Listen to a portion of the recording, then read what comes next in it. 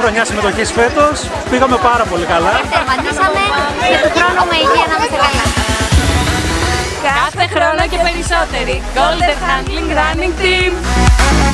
Για τρίτη συνεχόμενη χρονιά η running team της Golden Handling συμμετείχε στο Είμαστε πάρα πολύ χαρούμενοι που τερματίσαμε. Η ομάδα συνεχίζει να υποστηρίζει στα πλαίσια της εταιρικής κοινωνικής ευθύνης τέτοιες ενέργειες. Αλλά είμαστε διπλά περήφανοι φέτος και για την συμμετοχή μας στην ομάδα προσφοράς του ΟΠΑΠ που η ομάδα της Golden Handling συγκέντρωσε 4.500 ευρώ. Είμαστε όλοι στην ίδια